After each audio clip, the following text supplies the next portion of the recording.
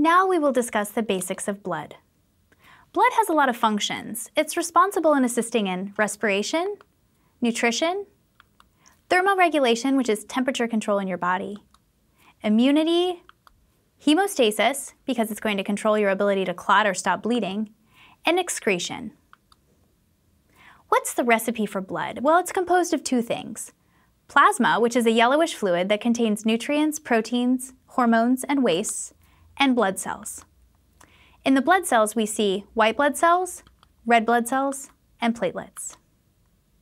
Plasma, this is the liquid portion of the blood, and it's a complex solution containing more than 90% water. The water can move between the plasma and the body's cells and other extracellular fluid, and it's available to maintain hydration to the tissues. Every living cell within the body relies on this water. Plasma is a very protein-rich solution compared to the extracellular fluid, and about 7% of the plasma is made of proteins. These plasma proteins can exert the osmotic effect to control the water movement from the extracellular fluid to the plasma. The major plasma protein is called albumin, and it is responsible for keeping water in the bloodstream by its osmotic effect. Another type of protein found in the plasma are the immunoglobulins. These are your antibodies, and these are produced in response to a specific foreign substance or an antigen. There are other solutes in the plasma, including lipids, and this is the phospholipids, triglycerides, and cholesterol. Glucose is also present, and this is your blood sugar. It's absorbed from the GI tract and can be released into the blood from the liver. This provides a constant source of energy for your tissue cells and is the only source for some cells, including the red blood cells. If glucose is not needed immediately, it can be conserved and stored for later.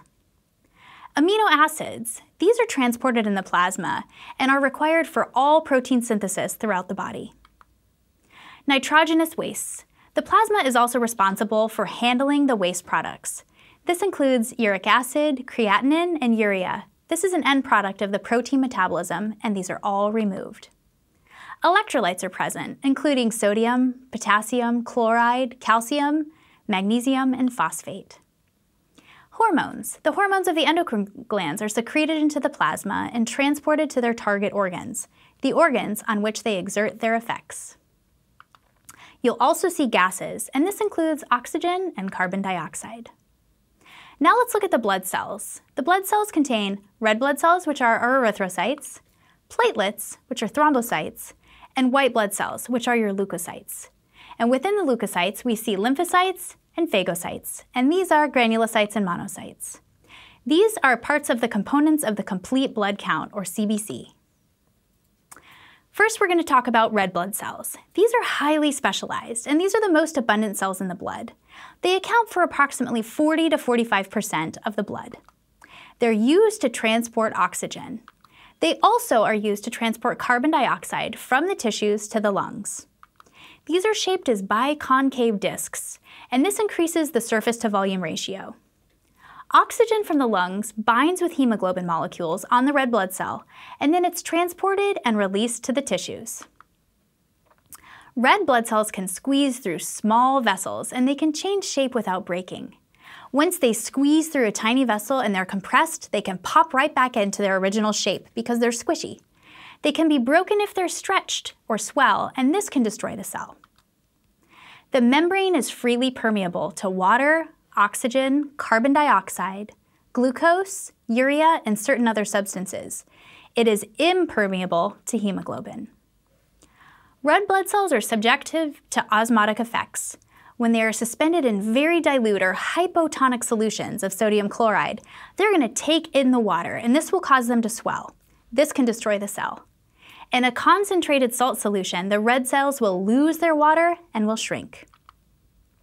The membrane of a red blood cell has a group of molecules that confer the blood group specificity, and this is type A, B, AB, or O. 95% of the dry weight of a red blood cell is the hemoglobin. Let's talk about hemoglobin. We abbreviate this as HB or HGB. This is the iron-containing oxygen transport protein on a red blood cell. It carries oxygen from lungs to the rest of the body now, anemia is defined as a patient who has a less than fifth percentile normal hemoglobin level based on age. Most anemic children are asymptomatic. How are red blood cells made? Well, this is a process called erythropoiesis. Red blood cells cannot repair themselves, so they have to be constantly generated. These are produced continuously in the bone marrow, and certain nutrients, such as riboflavin, vitamin B12, and folic acid, are necessary for this process. The rate of production is controlled by erythropoietin, which is produced in the kidneys. So you'll see up top, this is done for two reasons. First, there can be a decrease in the number of cells and a decreased level of oxygen in the cells. Now look over on the chart. The decreased oxygen in the tissues is going to stimulate the release of erythropoietin. This is going to increase the erythropoietin in the blood, and that's going to stimulate the bone marrow to churn out more red blood cells. This in turn will increase the oxygen to the tissues, and that feedback is going to inhibit further erythropoietin release. This helps maintain homeostasis, which is the steady state. Red blood cells are also destroyed. They live about 120 days. The wear and tear is going to lead to the loss of proteins and enzymes, and their function is going to decrease. Also, as they age, their chemical reactions are impaired. Water is going to pass in, and they're going to swell and become sluggish, and eventually they'll be engulfed by phagocytes. The proteins are going to be broken down and reused, and the iron is going to go back to the bone marrow for reuse. Bilirubin is released, and it's going to be transported to the liver for processing and removal from the body.